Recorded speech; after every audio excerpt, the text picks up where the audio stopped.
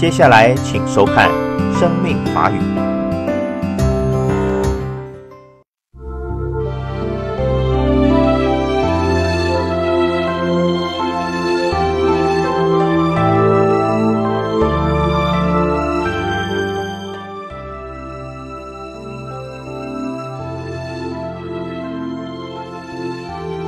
在修行中，爱封闭自己，犯下六种错误，或者是误会。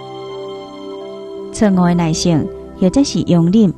有一寡修行者欠缺洒苦，受尽风寒，外貌可怜，但又愿坚持修行。因无定欠缺物质，但无需要咱的怜悯。眼前的无事事是暂时的。嘛是帮助因未来解脱的方法。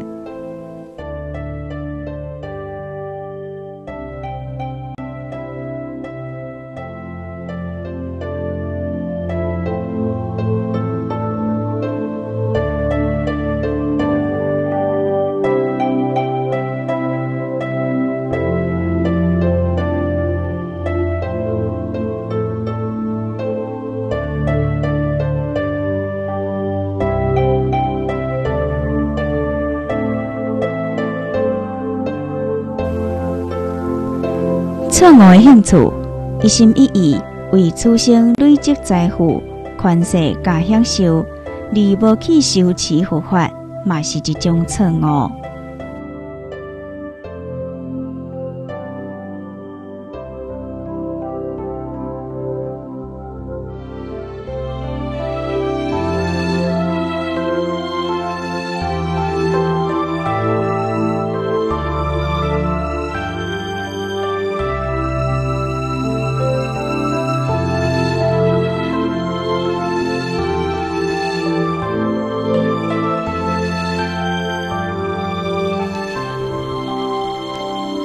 坤修世间法，离非佛法，这嘛是一种错误。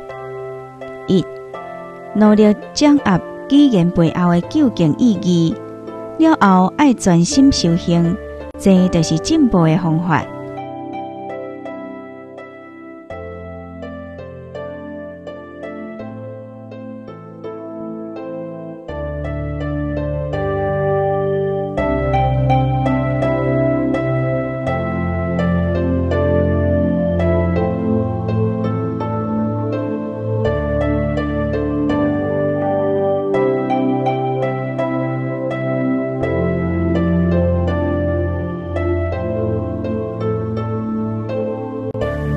二，经济专家试着佛法的滋味，带着理性知识的武装，却互自己加入了基督，不断甲对手进行辩论，为的是得到世间的满足感。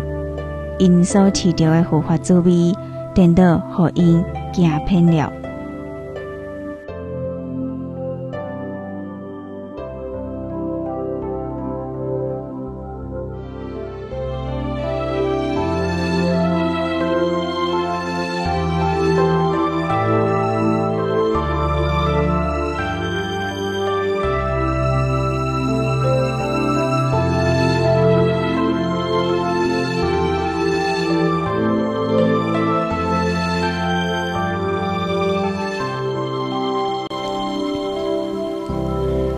我的自卑，在山间小屋修行的温书，欠缺食物甲温暖的衫裤，为了护法而经历各种的艰辛，难无应当怜悯这款的修行者。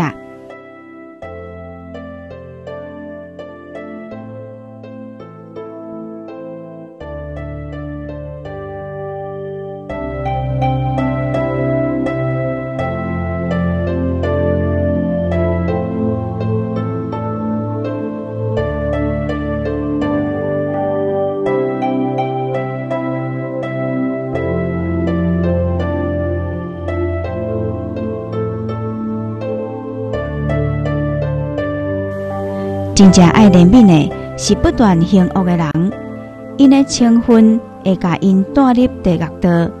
咱应该将慈悲予遐个真正需要的人。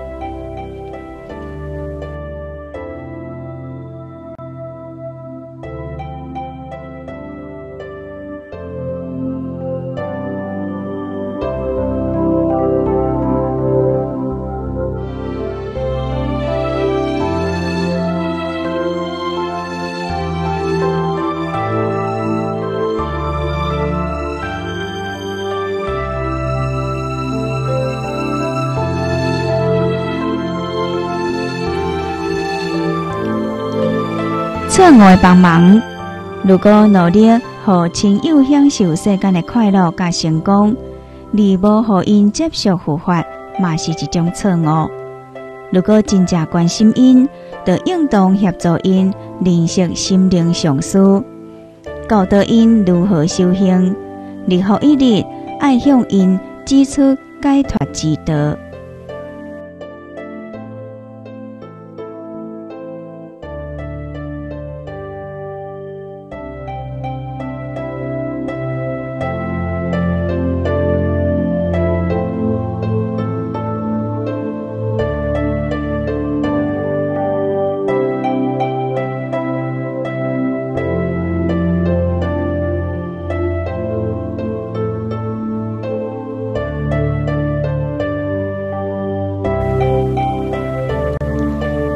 更我的喜悦，因为敌人受苦来感觉到欢喜，这是无应该的。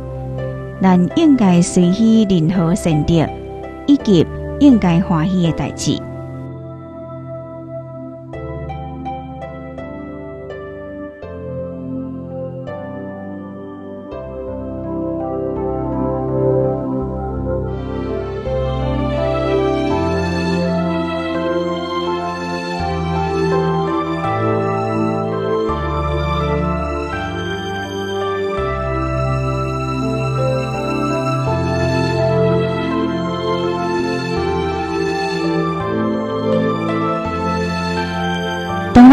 然，无介意的人，互上司处罚，甚至被杀死。如果咱因此感觉到希望满足，认为因得到应得的报应，这是错误的希望。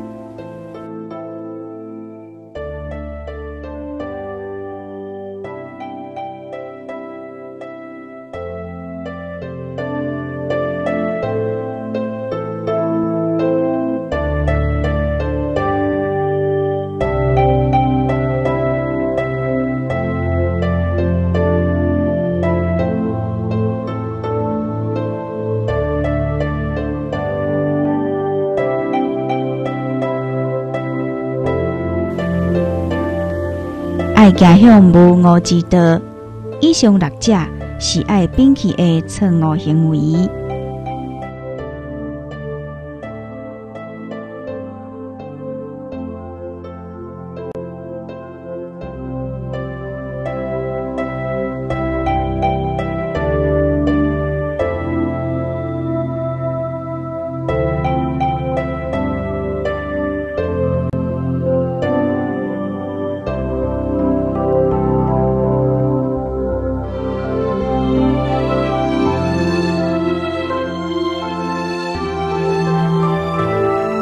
无数以来，一直到今嘛，咱不断地经历轮回苦，连一秒钟拢无中断过，在被情劫甲烦恼断断轮回相续进程，咱也是一直受轮回苦。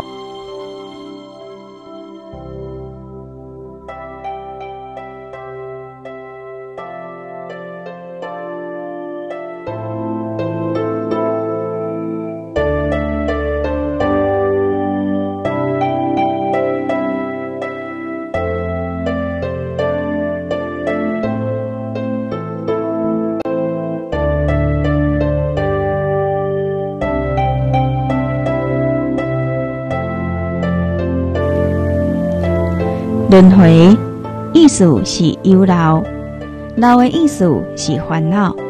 如果一个人有烦恼，就会搁再度伫个轮回中转生，对轮回落入轮回，尤其是对立恶处，这是烦恼的作用。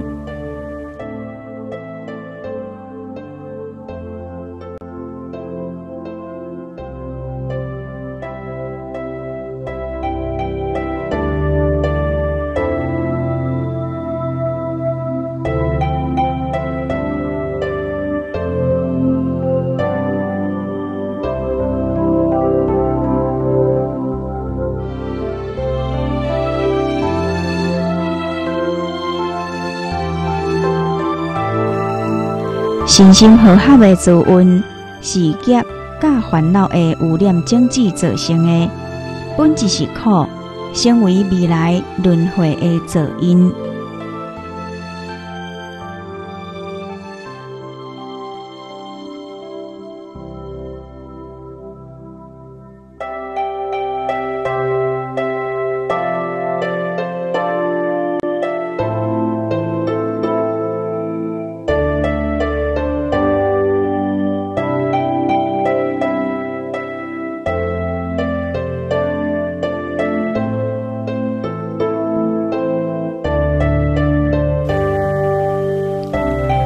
轮回是一直转动循环的现象，诸运的轮回无开端，无数相续，这是轮回的基本课。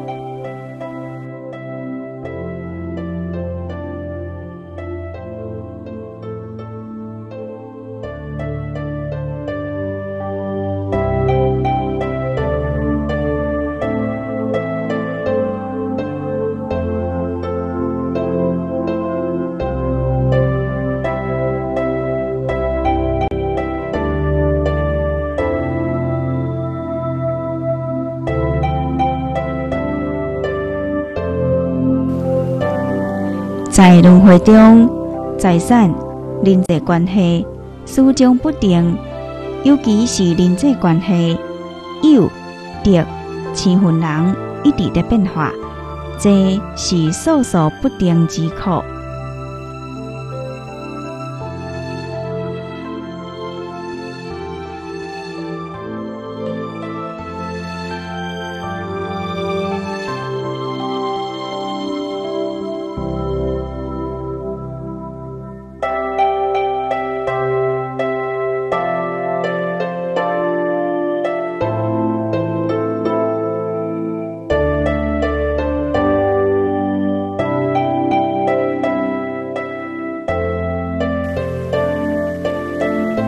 轮回中，无新鲜的享乐，嘛无任何新鲜的苦难甲问题。无数以来，所有轮回的一切受用、享乐，每一个人拢经历过无数次，拢毋是新鲜头一摆，这是不满足之苦。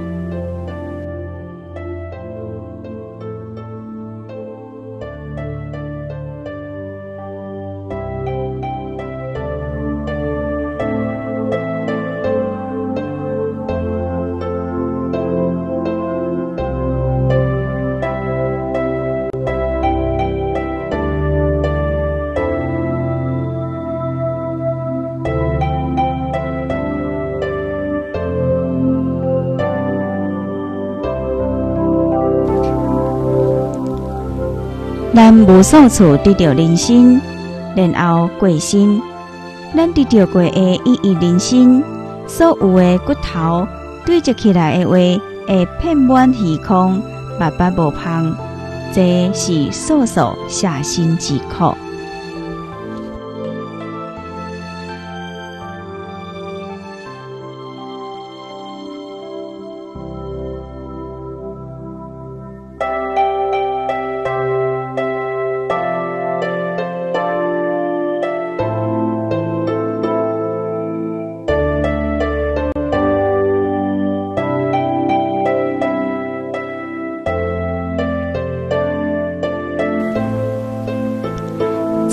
在轮回中享尽各位，必定对了。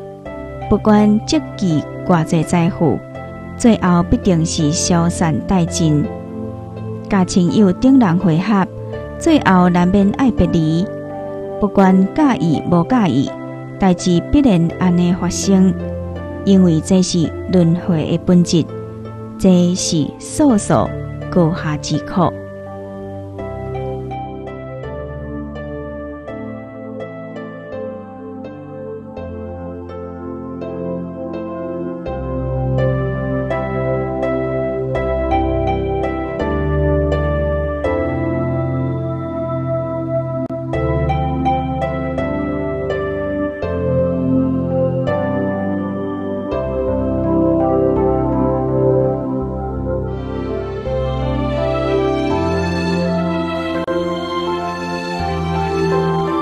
一个人出生的时候，独自来投生；死的时，嘛孤零零的行，无人会陪伴，自己对地角，无人会来问问。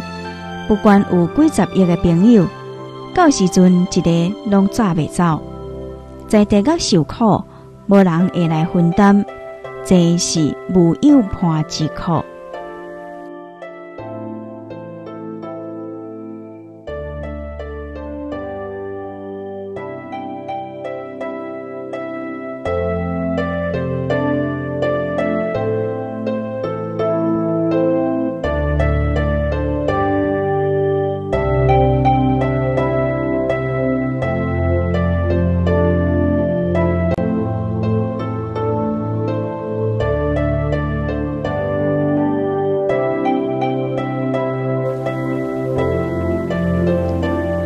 不管身处何处，伊拢是苦的所在。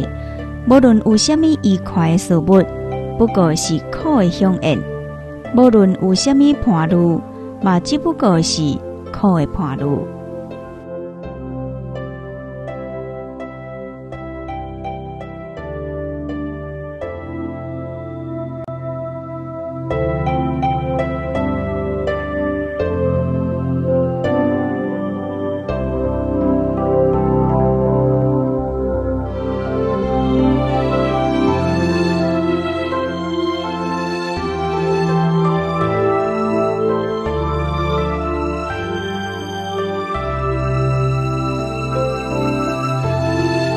相思过轮回的过患了后，应该下结论：轮回的一切本质是苦，无什么值得一处，嘛无什么好成分。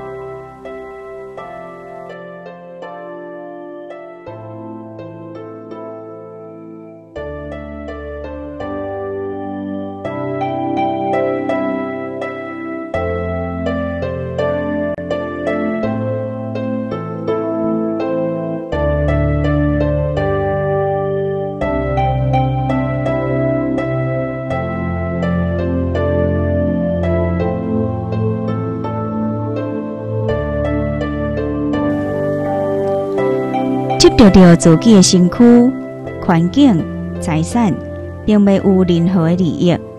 咱上重要的病，就是无知足。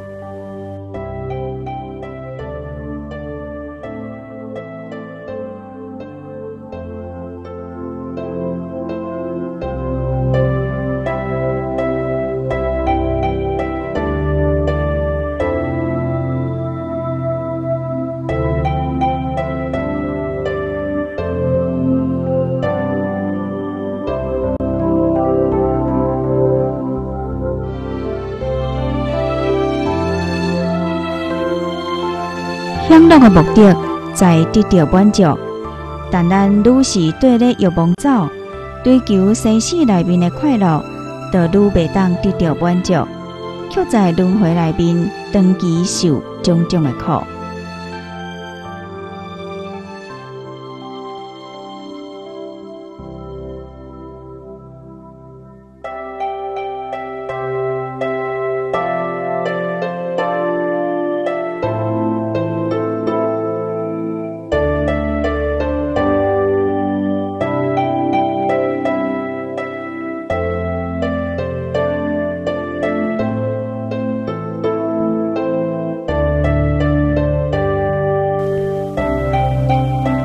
苦是轮回唯一的本质，丝毫无达得的一处，因此务必尽量利用这个人生，为解脱轮回做准备。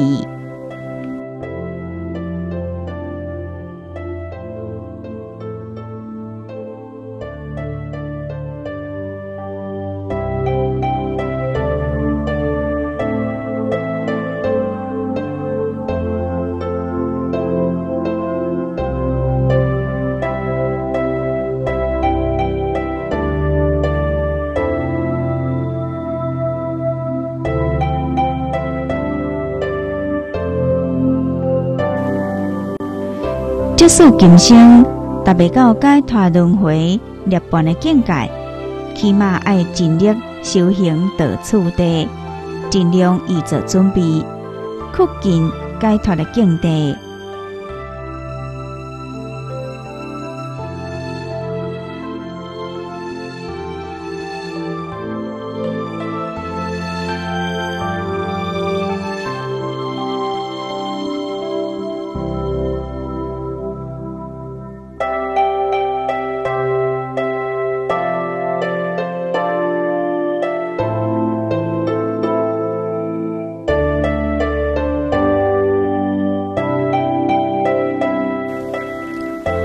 问题只是咱看袂到过去式，咱放袂记哩。假设会当记得所有的过去式，所有的经历的痛苦，那安尼一刹那的无解脱，就会互你动袂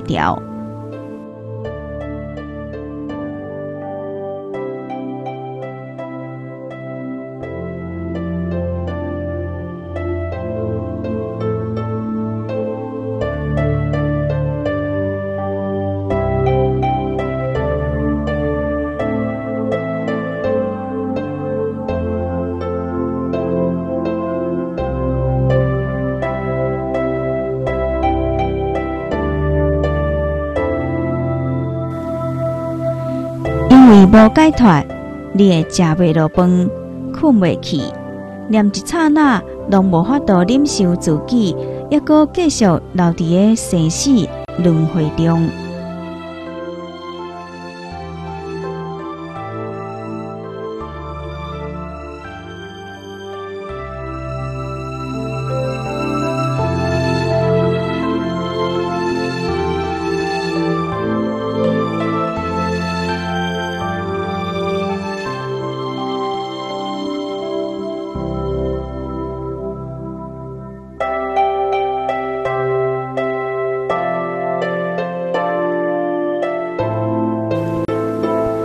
思维无常甲死亡本身无算虾米，但如果是为死了后随之而来的代志而思维，就真重要。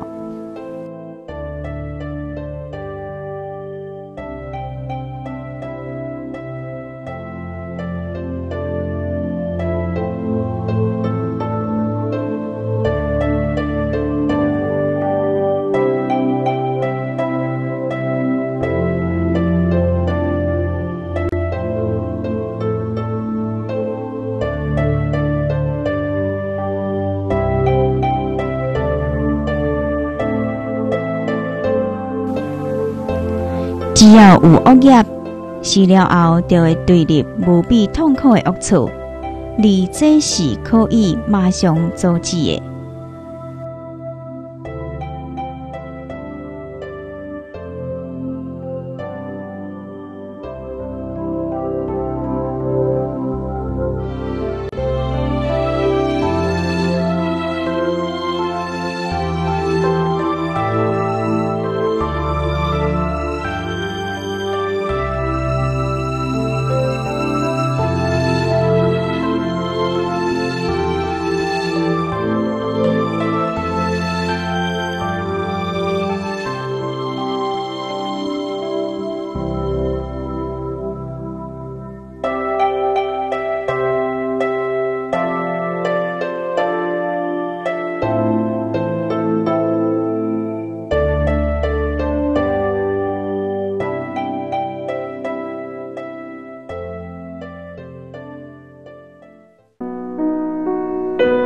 护持生命电视台，就有如在护持十方三世一切佛法僧三宝，所以期望各位把生命电视台所听到的教法，运用在您的内心里面，达到无我的空性，达到慈悲利益众生，更要随时收看，随时护持生命电视台，就是护持三宝。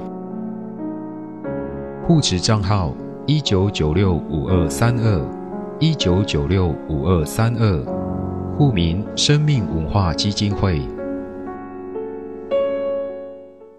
庆祝佛诞节，佛教慈悲置业宜兰大悲观音道场举办浴佛祈福暨恭诵《金刚经》法会，恭请广护法师及法务指导僧众共同领众。日期五月二十六日星期五，时间上午九点，浴佛祈福暨佛前大供；下午一点半。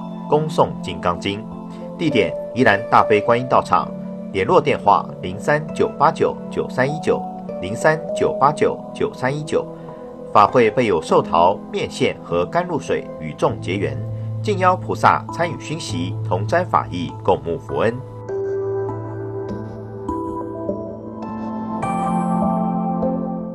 佛教慈悲置业花莲分会，新逢释迦牟尼佛圣诞。启建玉佛祈福法会，恭诵《玉佛功德经》，礼拜大乘金刚般若宝忏，消灾超荐点灯供水要供即甘露施食。日期五月二十七日星期六，时间上午八点半开始。恭请法务指导僧众共同领众。地点花莲中心，花莲市建国路一百六十号。电话零三八三一一六七三零三八三一一六七三。敬邀菩萨参与熏习，同沾法益，共沐佛恩。